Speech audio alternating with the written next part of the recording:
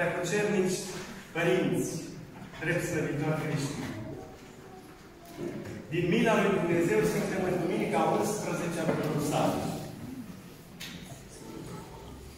În acest an s-a potrivit ca în aceeași zi, în această duminică, ca de altfel în fiecare an la data de 8 septembrie, să prăznuim nașterea Maicii Domnului. Avem patru sărbători mari închinate Maicii Domnului. 8 septembrie, nașterea Maicii Domnului, 21 noiembrie, intrarea în Biserica Maicii Domnului, 25 martie, Buna Vestire și 15 august, Adormirea Maicii Domnului. 8 septembrie, Sfânta Mărie Mică, 15 august, Sfânta Mărie Mare. Un părinte pe care îl cunosc și îl prețuiesc în mod deosebit, care deci trăiește și ce mi-a spus este adevărat, mi-am mărturisit la un moment dat următorul lucru. Eram în Sfântul Altar. Eu și Paracliseu rândeam câte ceva în biserică. Slujbă nu era, lume nu era. La un moment dat a venit un copil cam de vreo șase anișori. Să fi fost în clasa 0, clasa 1. Și l-am auzit, stând în fața icoanei Maicii Domnului, că vorbește cu Maica Domnului așa. Apoi mama lui Isus, te văd și pe tine preocupată cu ale tale și probabil și îngrijorată și ocupată, le fi având și tu pe ale tale. Dar uite ce te rog eu frumos. Când le mai rezolvi pe ale tale și ai un pic de timp, te rog mult să te ocupi și de mama mea. Că nu e bine. Eu prea bine nu știu ce are, dar îi văd pe toți în casă supărați și triști. Pe tata, pe bunicul, pe bunica, și tot aud zicând de spital, de operație, de cancer, nu prea pricep eu bine ce și cum, dar văd că mama nu e bine, iar noi în casă cu toții suntem de la o vreme foarte triști. Și eu am mai auzit, nu știu, de la cine, când, cum, că tu poți să o vindeci. Ei, te rog eu frumos, chiar dacă ai multe pe cap, și fii și tu cu ale tale, să nu mă uiți nici pe mine și pe mama mea. La un moment dat, părintele, paracrisierul vrea să vorbească cu părintele, l-a oprit ca să nu tulbere convorbirea și dialogul dintre fiu, dintre copil și Maica Domnului. Și a rămas părintele atât de mișcat și de impresionat. Pe când a vrut să iasă, să-l vadă pe copil, să-i dea o binecuvântare, copilul și-a zis ce a avut de zis, s-a întors și a plecat. Am stat și am urmărit și am verificat dacă îl mai văd pe copil, dacă îi cunosc părinții și am aflat cine este și ce este cu ei.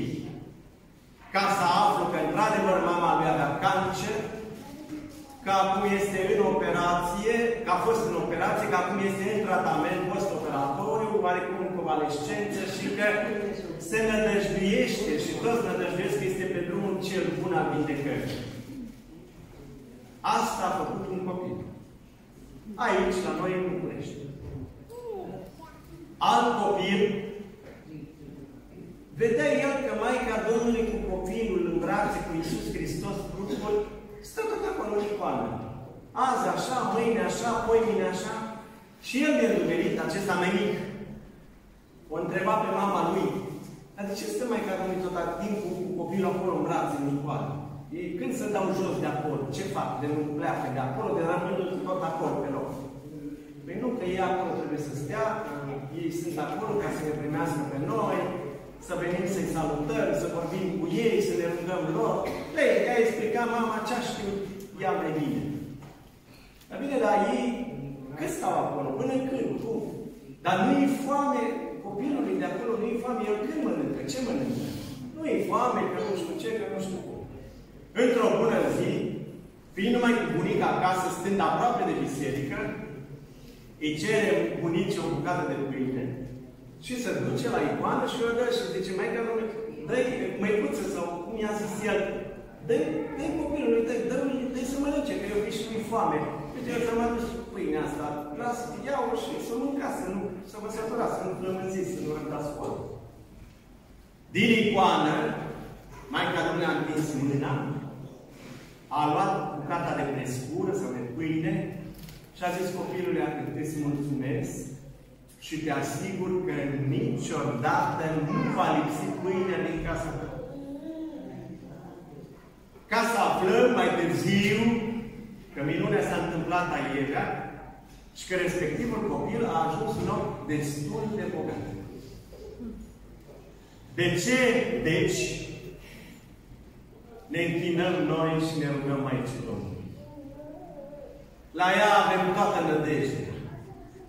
Că toți le avem pe ale noastre, bune și rele, puține sau multe, grele sau ușoare. Tot felul de încercări, de apăsări, de frământări, de necazuri, de boli, de suferințe, de batini, de vicii, de neajunsuri. Și venim la ea cu evlavie și cu nădejde și cu credința că ea ne poate ajuta mijlocind la tronul Tatălui, a Fiului și a Sfântului Duh, a Preasfintei Trăim Domnul Dumnezeu, unde ducând ea rugăciunile noastre, obstacolele noastre,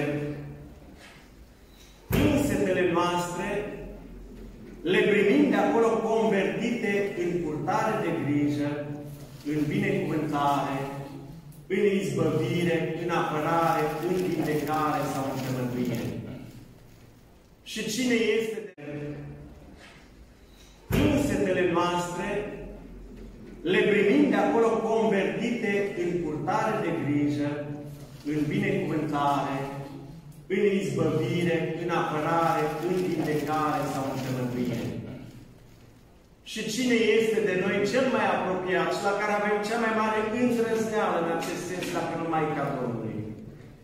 De aceea, bine este oricând și oriunde, cu timp și fără timp, în tot locul și în tot ceasul, să ne rugăm aici, Domnul. Prea Sfântă Născătoare de Dumnezeu, miluiește-ne și ne mântuiește pe noi.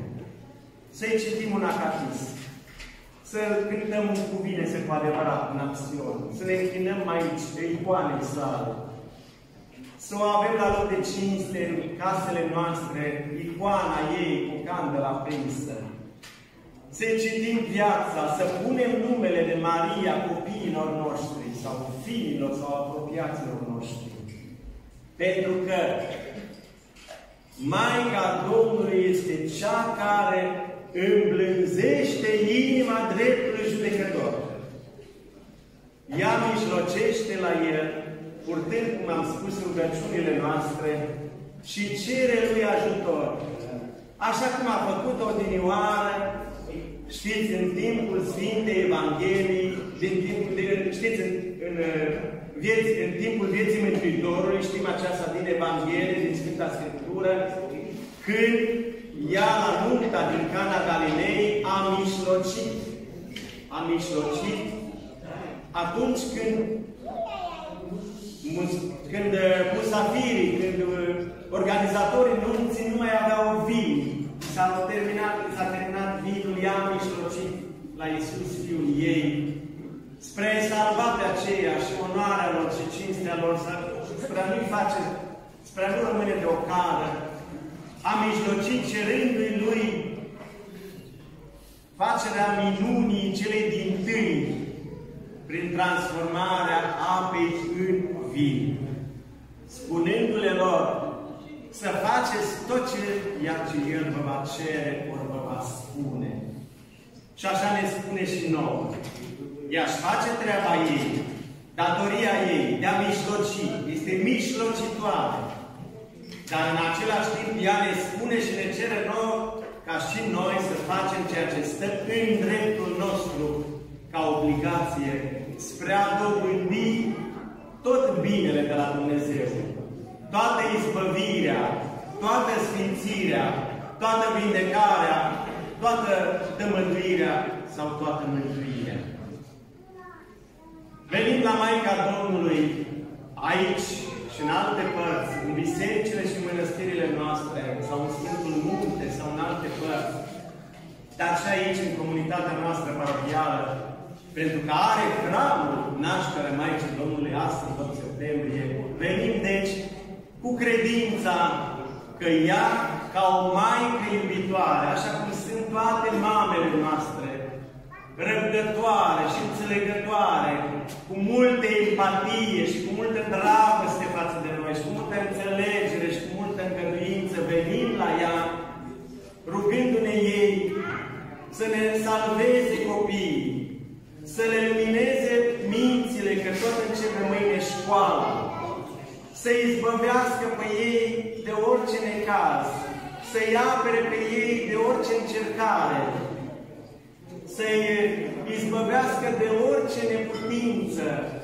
de orice obstacol, de orice cursă, că vedeți în ce lume trăim și trăiesc copiii noștri, plină de tentații, plină de încercări de tot felul, de ispite, de curse, de boli, de suferințe. Și atunci ea, Maica Domnului, la insistențele noastre, la rugăciunile și la rugămințele noastre, cu adevărat, având noi toată încrederea în ea, toată încredințarea, toată credința, toată nădejdea, va cere lui Hristos Domnul să ne poarte de grijă, să ne apere, să ne izbăvească, să ne apere copiii, să-i lumineze, să-i înțelepțească, să-i izbăvească de atâtea curse la care ei sunt supuși în tot locul și în tot ceasul.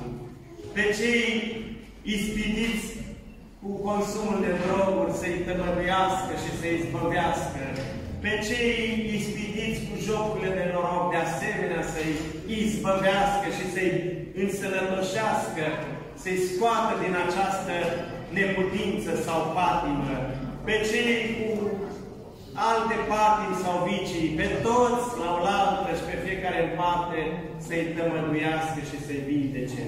Toate acestea le poate face Maica Domnului, mijlocind, ducând la Hristos Domnul rugăciunile noastre, cu condiția, cu condiția de a-i cere, de a ne ruga ei și Lui, de Hristos Domnul, de a ne închina icoane ei, de a-i cinsti zilele de prăznuire, de a-i cinsti și pe părinții ei, drepții părinții Joachim și Ana, pe care îi vom sărbători mâine, în fiecare an, la data de 9 septembrie, de a cinsti toate icoanele Maicii Domnului Făcătoare de minuni, de a-i citi acatistele, de a-i citi viața din sinaxare, de a-i cânta tot felul de imne, acțioane și propare închinate ei, toate făcându-le cu credință, cu nădejde, cu dragoste și cu multe evlavie și cu multă sinceritate, ca astfel, cerând ei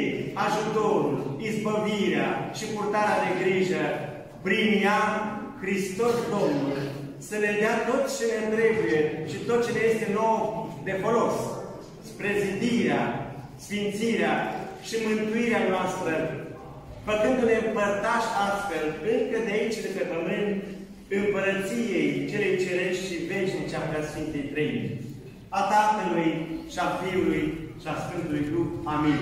La mulți și binecuvântați ani tuturor celor care aveți astăzi ziua onomastică. Amin.